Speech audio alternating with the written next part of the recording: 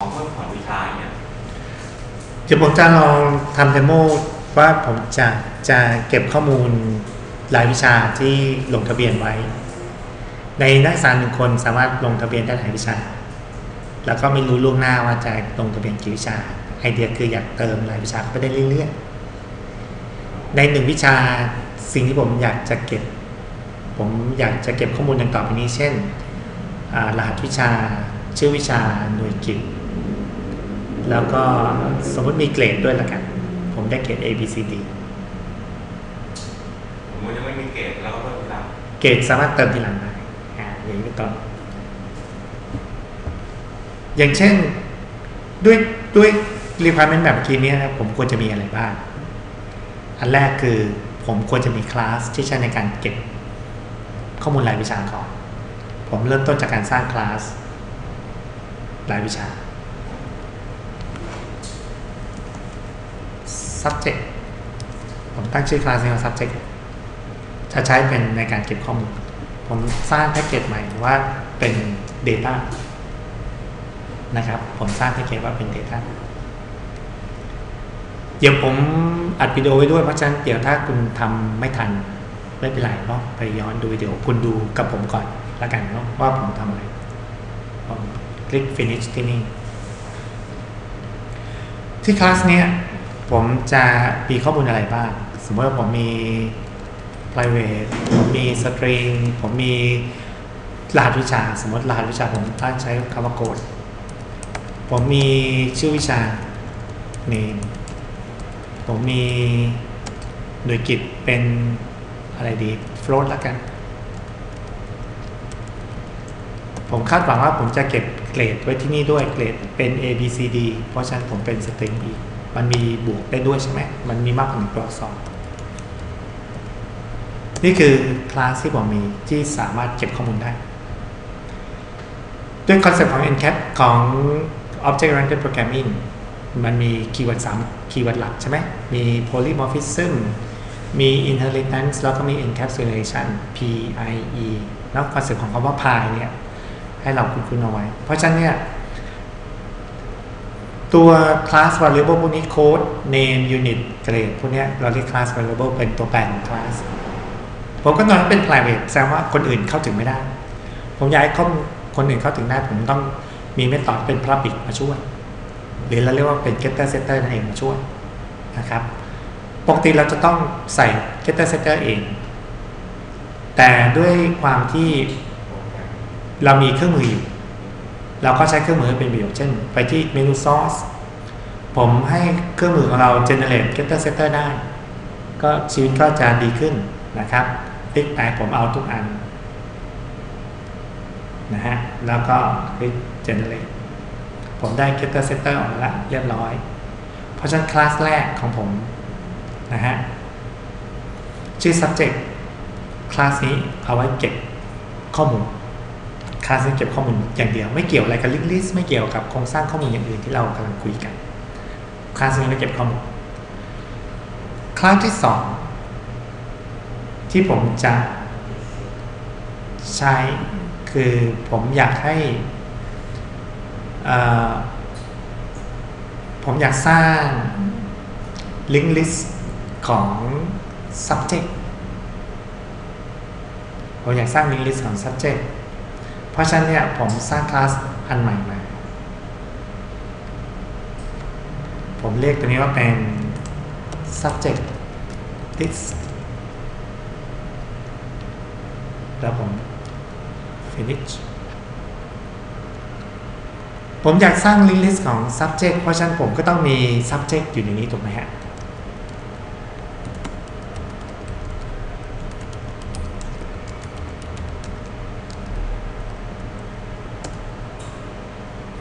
จากนั้นผมอยากจะทำให้เป็น link list เพราะฉะนั้นผมก็ต้องมีตัวชี้เพียงตัวถัดไป ตัวชี้ที่เป็นตัวถัดไปจะต้องเป็นชนิดเดียวกันกับคลาสนี้ เพราะฉะนั้นอันนี้คือ subject list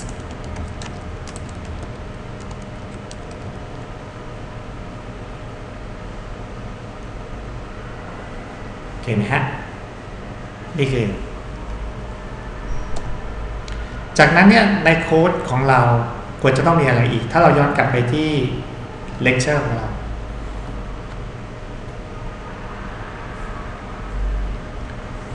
มี Data แล้วมี Next แล้ว ตัวต่อไปก็อาจจะเป็น Constructor หรืออาจจะเป็นตัวที่ใช้ในการโชว์ข้อมูลใน list อะไรก็ว่าไปถูกต้องไหมฮะ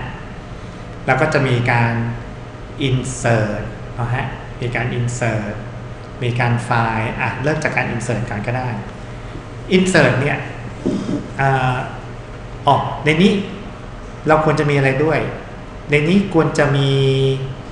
first เป็นชนิด link โทษทีนะฮะ ให้สังเกตนิดนึงว่าตรงนี้เนี่ย มันควรที่จะ ไอเนี่ยหนึ่งคลาสเนี่ย เทียบเท่ากับก้อนนี้แค่ก้อนเดียว ก้อนเดียว ก้อนเดียว ก้อนเดียวหนึ่งคลาสเนี่ยก้อนเดียว เห็นไหมเพราะฉะนั้นถ้าเทียบกับโค้ดของผมแล้วเนี่ยโค้ดของผมตรงนี้นะครับ ก็คือข้อมูลก้อนเดียวนะครับข้อมูลก้อนเดียว ผมอาจจะอยากใส่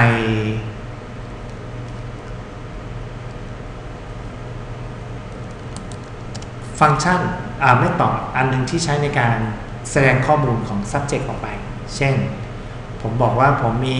ตัวนี้ ใช้ในการแสดงข้อมูลนะครับ ซึ่ง method to string เนี่ย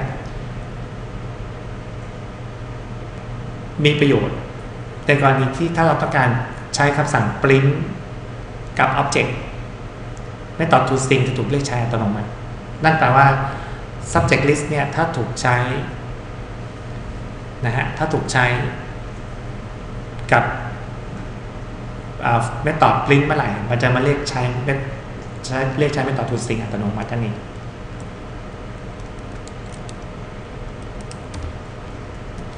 ใส่ใส่ keyword ไว้นิดนึงว่าตอนนี้ผมกำลัง override สิ่งที่มี ผมจะเอาอะไรมาโชว์บ้าง ผมจะเอา subject get code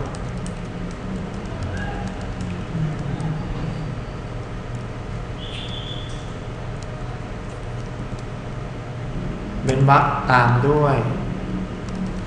subject dot get name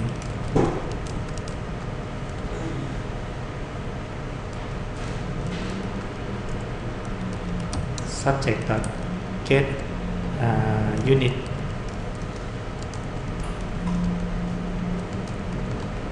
บวกด้วย subject dot get grade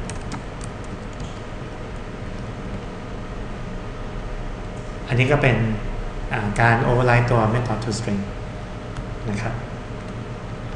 จากนั้น ตัวนี้เป็นตัวที่ทำให้ subject เนี่ย มีแนวโน้มว่าจะชี้เข้าหากันได้นะ subject list เพราะฉะนั้นถ้าจะทำให้เป็น link list ผมก็ต้องมีคลาสหนึ่งคลาสเอา subject list เนี่ย มาเชื่อมกันถูกต้องไหมฮะ จะมีการเติม จะมีการ add จะมีการไฟล์อะไรก็ไปทำที่อันนั้นถูกต้องไหม เพราะฉะนั้นผม สร้างอีกคลาสเป็น subject list ผมมี 3 คลาสแล้ว ในนี้ผมมี subject list ซึ่งผมบอกว่า เป็น first ใช้ในการชี้ตัวแรกนะฮะใช้ในการชี้ตัวแรก ก็ถ้ากลับไปเทียบกับโค้ดของเราที่มีใน sample code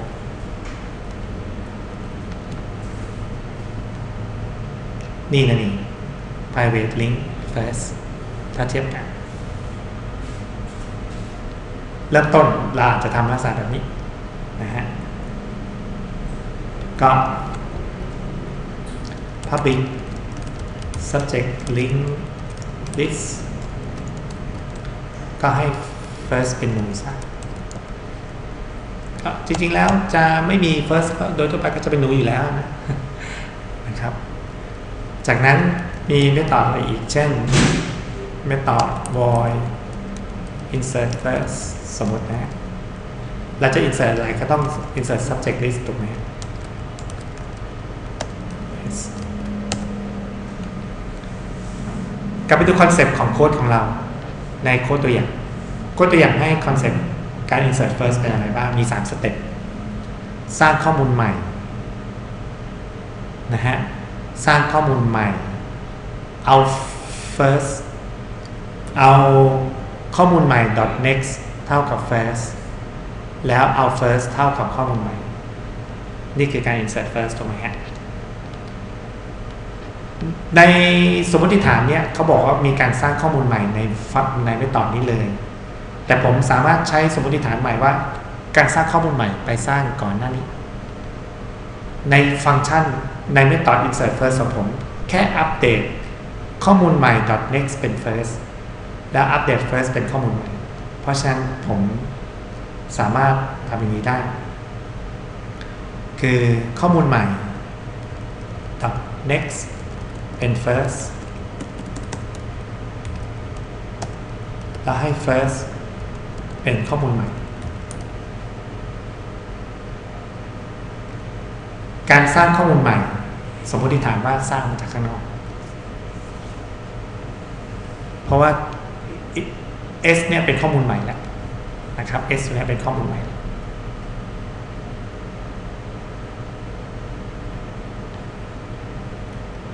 อ๋อ สังเกตตัวนี้เป็นป้ายสีแดง เพราะว่าอะไร ตรงนี้ มีคำว่า private ผมขอเอาคำว่า private ออกไปแล้วกัน ให้อยู่ในลักษณะที่เป็นแพ็กเกจนะฮะ ให้เป็นแพ็กเกจที่นี่จะได้ใช้ได้นะครับ สังเกตว่าพอเอา private ออกไปเป็นแพ็กเกจปุ๊บตรงนี้ใช้ได้แล้ว นี่คือการ insert first ต่อไปเป็นอะไรอีก อยาก search Public Grab Search เนี่ยเราก็ต้อง search ได้ผลลัพธ์ของการ search ก็คือต้องได้ subject list ออกมาถูกไหมครับ search ด้วยอะไร search ด้วย สมมติว่า search ด้วย เวลาเรา search เนี่ยเราต้องคิดนิดนึงเรา search ด้วยอะไรแล้วอย่าง subject list ของเราเนี่ยมีโค้ดมี name มี unit มี grade เราจะเสิร์ชด้วยอะไร เช่นเสิร์ชด้วยโค้ด โค้ดเป็นอะไร string เพราะฉะนั้นผมสมมติว่าผมอนุญาตให้เสร์ชด้วยโค้ด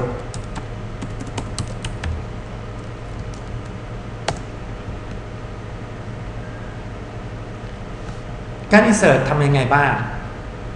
กลับไปดูที่คอนเซ็ปต์ของเรา นี่คือ insert อาการการ search หรือ find นั่นเอง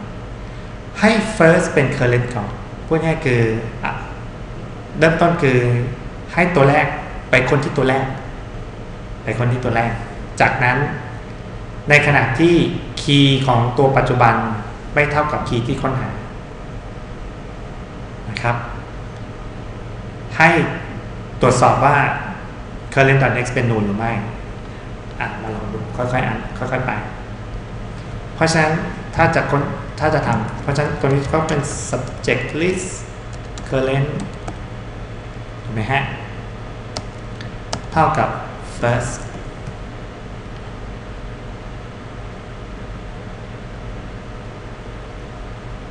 นี่คืออันแรกถูกต้องไหม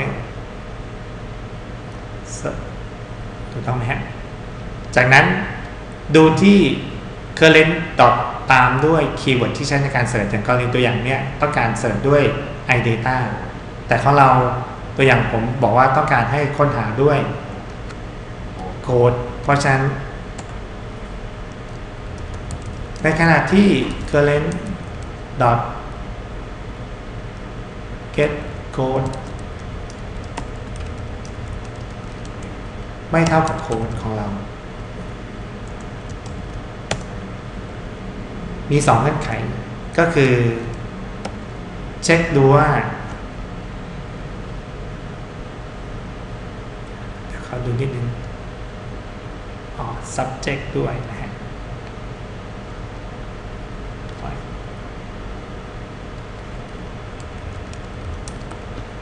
ลืมตัด subject ในโค้ดตัวอย่างคือบอกว่า เอา key ใน current มันไม่ตรงกับ key ที่ค้นหานะครับ key ที่ใน current ไม่ตรงกับคีย์ที่ค้นหา ให้ current next targeted unexpected return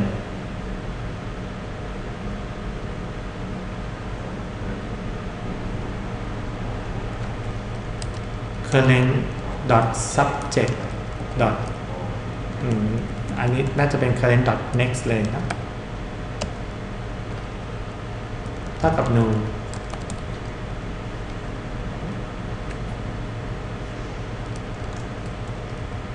พิจารณา else ถ้าไปเทียบกับของเราคืออะไร อัปเดต current เป็น current dot next ถูกไหมครับอัปเดต current เป็น current dot next เพราะฉะนั้นตรงนี้สามารถอัปเดตได้เลยก็คือ current เท่ากับ current dot next เสร็จแล้ว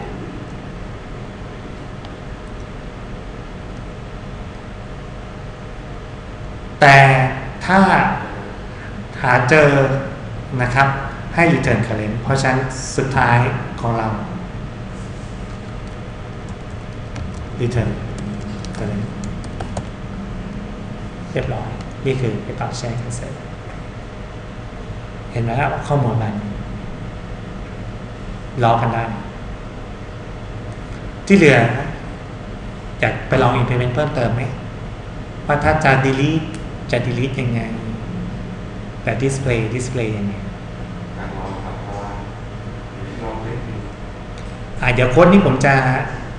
จะอัปโหลดให้พวกเรานะครับ หลังจากนี้ไปเดี๋ยวจะอัปโหลดให้พวกเรา แล้วพวกเราลองไปเทียบดูว่าถ้าข้อมูลของเราไม่ใช่ iData dData ซึ่งเป็นข้อมูลตลกตลกบน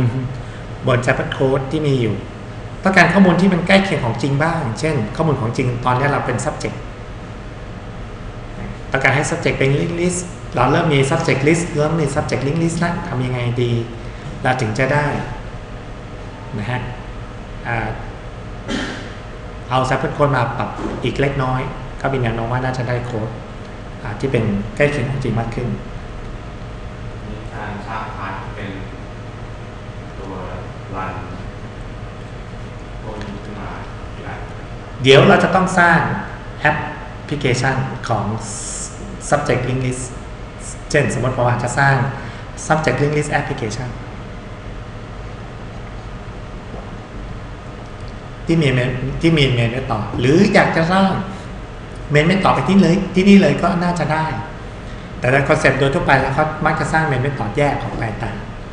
นะครับในการเขียนโปรแกรม Java ที่ดีเขามักจะเอา main method ไปไว้ต่างพวกนี้จะได้เป็นคลาสที่ไม่ขึ้นอยู่กับใคร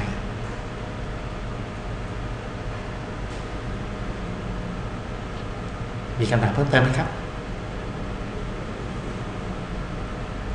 หรืออยากเห็นเมนไม่ตอบว่าเมนไม่ตอบควรจะเป็นยังไงผมสามารถไปสร้างเมนที่อื่นเนาะเพราะผมตอนนี้แพ็กเกจผมอยู่ที่ Data เนาะตอนนี้ผมเปลี่ยนแพ็กเกจมาอยู่ที่ปัจจุบันผมมาเอา สมมติว่าผมสร้าง subject link list app อ่า demo ก็ได้ demo ผมต้องการ public static void main ตึ้งเรียบร้อยนะครับ นี่คือสิ่งที่ต้องใส่เข้าไป เช่นผมบอกว่าผมจะมี subject link list นะครับ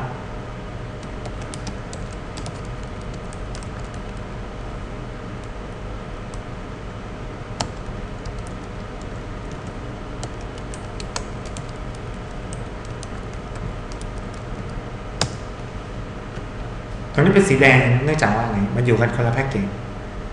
อยากให้อยู่แพ็กเกจเดียวอ่าอยากให้สีแดงหายไปก็ import แพ็กเกจนี้เข้ามานะครับ import ตัว subject list เข้ามาก็ใช้ได้ จากนั้นผมอยากจะก่อนจะสร้างก่อนที่จะเอาข้อมูลใหม่ใส่ลงไปได้ ผมจะต้องสร้าง subject list ขึ้นมาก่อนใช่ไหมครับ เพราะฉะนั้นผมมี subject list s1 เท่ากับ new subject list จากนั้น S1 ของผมอะ import เข้าไปก่อน จากนั้น S ผมก็ต้อง